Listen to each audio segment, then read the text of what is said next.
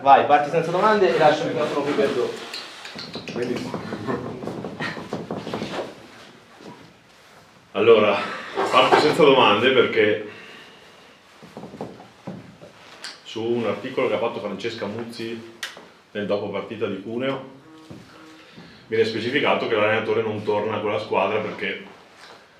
si spiccia per tornare a casa in macchina come a puntualizzare che dopo una sconfitta, se si volesse mai puntualizzare questo, eh,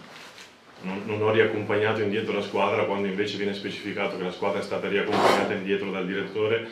che non è vero perché è sceso a Genova. Quindi, prima di parlare di, di dell'unica roba che conta, che sarebbe il campo,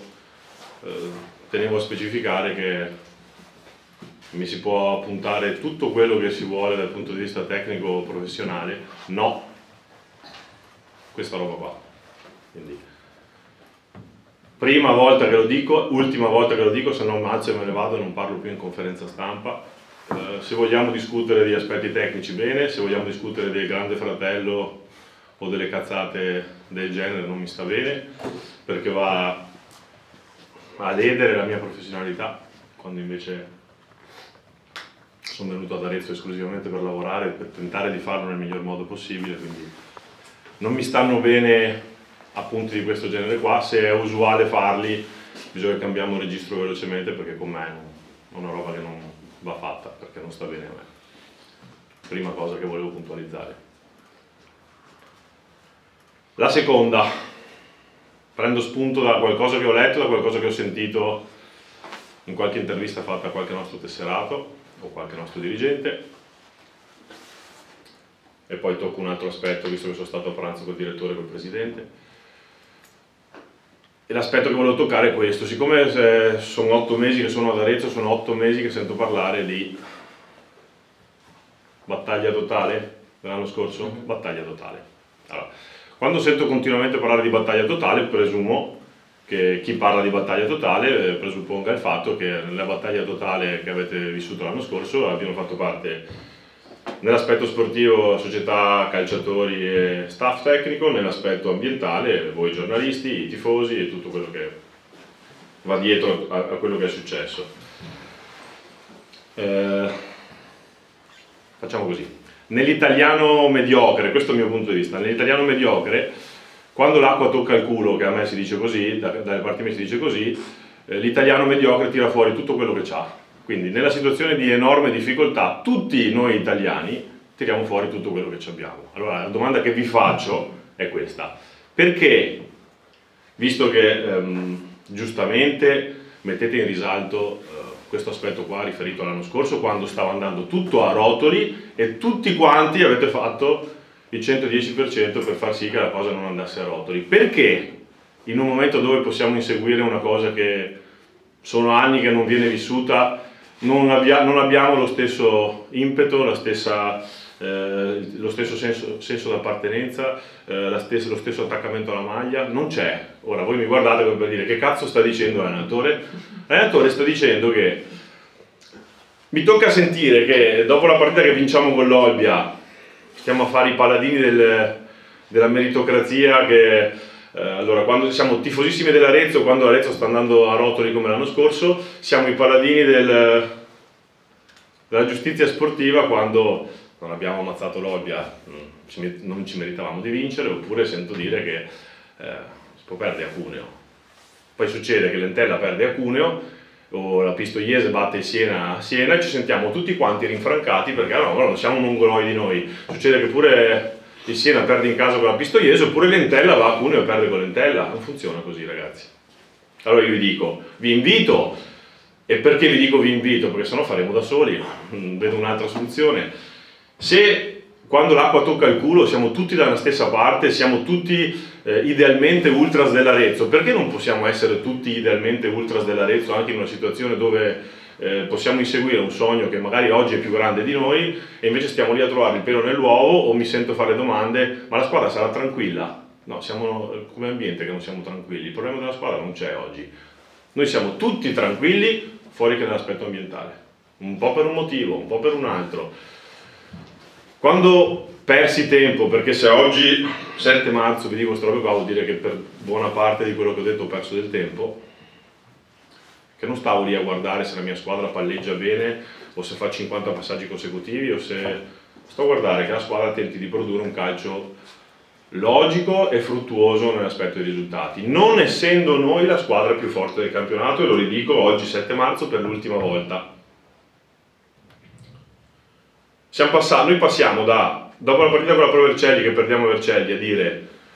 mi sa che la Pro Vercelli è più forte, abbiamo detto tutti che abbiamo avuto la sensazione che la Pro Vercelli fosse una squadra che con noi non c'entrava niente, sei giornate dopo diciamo, ma possiamo arrivare primi, anzi facciamo pace col cervello e tentiamo di trovare una via che sia comune. Per trovare una via che sia comune resto l'idea che per costruire una grande impresa, modello anno scorso, perché la salvezza dell'anno scorso equivale a una vittoria di un campionato di Serie C, è uguale identica,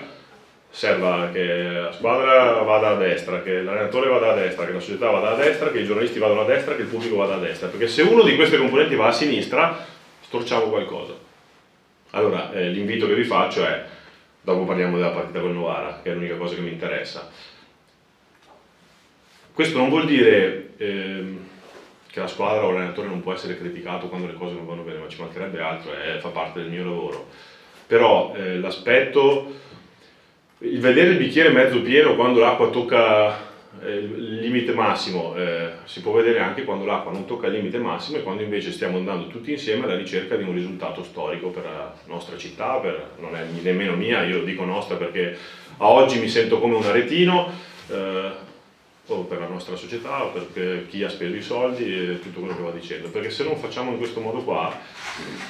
ehm, quando tre o quattro settimane fa vi dissi che mi sembrava che l'ambiente fosse diventato presuntuoso, oggi non è che mi sembra che è diventato presuntuoso, è presuntuoso l'ambiente, allora l'unica cosa che mi interessa oggi è eh, lavorare, eh, ritorno a dirvi quello che vi dicevo prima di parlare dello step dei 40 punti, lo step dei 50 punti, eh, noi dobbiamo lavorare, pensare a che dobbiamo fare una partita alla volta, senza stare a vedere se Lentella vincerà il recupero col Cuneo o se il Siena vincerà il recupero con la Pistoiese. Non mi frega niente né di quello che fa Lentella né di quello che fa il Siena, mi frega di quello che dobbiamo andare a fare noi do- dopo domani contro il Novara e mi piacerebbe che tutto l'ambiente fosse schierato no a chiacchiere a fatti dalla parte di un gruppo che ha speso dal 14 di luglio tutto quello che ha e a oggi, eh, dopo la sconfitta di Cuneo, ha profuso il 110% delle proprie qualità. Allora, siccome non ho la certezza, nessuno di noi ha la certezza, per non la palla magica, di pensare che il gruppo profonda il 110% delle proprie possibilità, fino a, mi auguro, il 6 di giugno o il 5 di maggio o non lo so quale cavolo sarà la data, può succedere pure che squadre, oggi siamo in tre punti, siamo sette squadre, possiamo arrivare a secondi, possiamo pure arrivare a ottavi, e ve lo dissi fatalità domenica scorsa. Allora ehm, mi piacerebbe che la cosa fosse vissuta nel modo da battaglia totale, invece oggi eh, fuori non la stiamo vivendo da battaglia, ci siamo tutti quanti un pochettino, ora usiamo tutti il profumo, quello buono, ehm, bisogna usare un altro profumo oggi perché c'è bisogno che tutti torniamo a eh, andare alla ricerca nel modo giusto di un obiettivo nel modo giusto, che oggi invece non stiamo facendo tutti quanti insieme, questo mi piacerebbe che succedesse. Detto questo, e chiudo questo aspetto qua, eh, tutta questa minestra qua l'ho fatta perché sono stato a pranzo col direttore e col presidente mercoledì. Pubblicamente eh, volevo ringraziare il direttore e il presidente perché per l'ennesima volta, anche se mh, mm, non ce n'era bisogno, nel senso che comunque sono persone che seguo quotidianamente e con cui vivo quotidianamente, quindi sapevo già che pensavano. Il Presidente mi ha ringraziato di quel che abbiamo fatto io eh, invece li, li, rigiro i ringraziamenti a loro perché mi hanno fatto lavorare fino al 7 di marzo, mi auguro che sia così fino alla fine, eh, nel miglior modo possibile, senza intralci, senza intrusioni, eh, con la massima disponibilità, con la massima fiducia in quello che ho fatto, quindi li volevo ringraziare, ho invitato il Presidente e il Direttore ehm, in modo positivo a pretendere che noi, allenatore per primo, visto che sono io responsabile di tutto, e i giocatori, continuino a profondere l'impegno e l'ambizione di arrivare il più in alto possibile che, che abbiamo avuto fino ad oggi e che avremo al 110% fino all'ultimo giorno in cui saremo qua, in modo giusto come è stato fatto fino adesso da parte della società, quindi lo volevo dire pubblicamente, visto che spesso lo fanno loro, io non lo faccio mai, quindi penso che fosse la situazione corretta. Io sono a posto. Sì. Cioè, il microfono se, pre- se lo prendete, grazie mille, così iniziamo con le domande. No, volevo commentare un attimo questo che ha detto, perché io francamente, dunque, eh, sono sempre nel clima del, dell'impresa totale, eh. io mi sento sempre quello. Eh, comunque, eh, no, ho capito, prima ha fatto un nome, no? Su, ha parlato di una collega che ha commesso una, e su quello non ci sono dubbi, no? Questo è un errore grave. È un errore grave, ma io non lo voglio commentare questo, non voglio entrare in questo discorso, però l'altro, l'altro oh, diciamo, oh, l'altra sua lamentela io non, non, non l'ho percepita così eh, netta, distintamente, ecco, da questo punto di vista, perché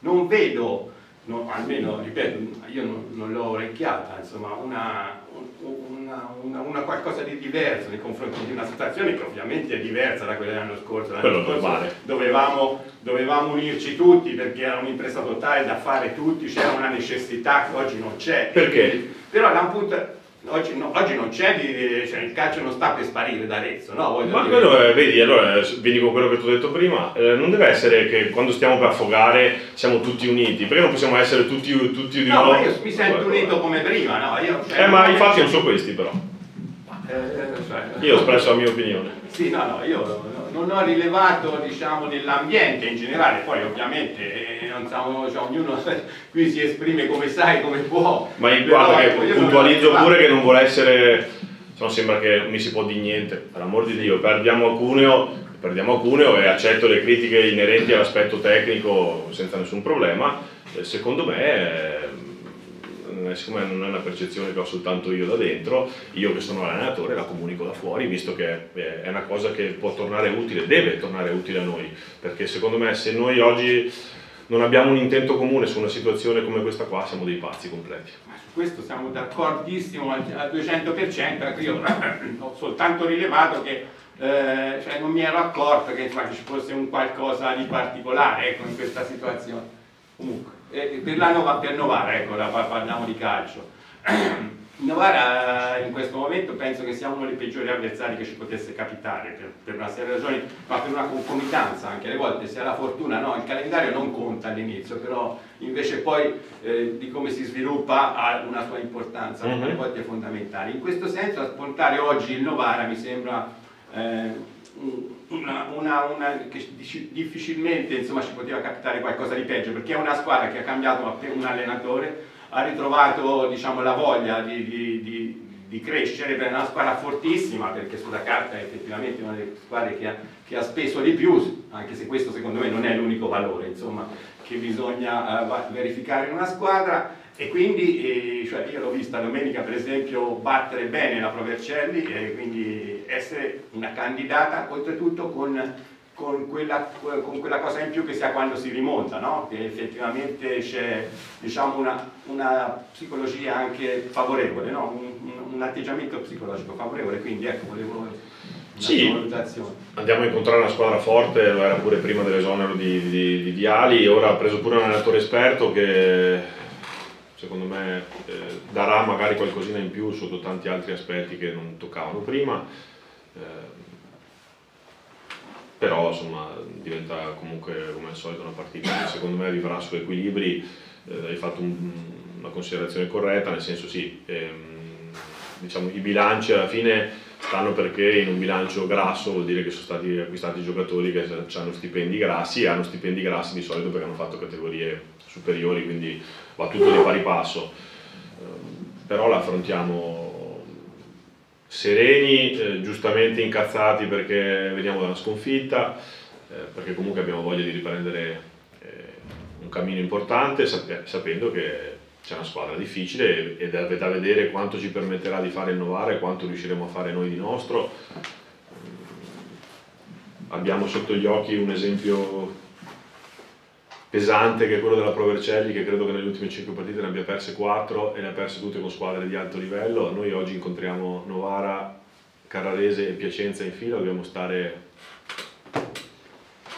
molto calmi, molto sereni eh, perché il campionato non finisce dopo le tre partite, sia che abbiano che prendano una piega, sia che ne prendano un'altra. Eh, ci può stare insomma, che si intraprenda un filotto positivo, ci può stare pure il contrario in una fase delicata della stagione, ripeto, dobbiamo viverla con eh, tenacia e ambizione di voler portare a casa il massimo che possiamo portare a casa, serenità nel saper leggere che può succedere. Sì, infatti lo vedo come un, un, punto importante, di, un esame molto importante. Assolutamente sì. Eh, e, ecco, in questo senso poi mancheranno Pelagatti e,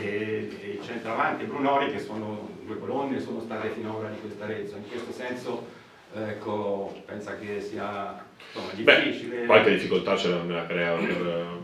forza di cose perché se li ho fatti giocare sempre un motivo c'è. Mm, in generale però la squadra sta bene, mm, non ho visto stanchezza mm,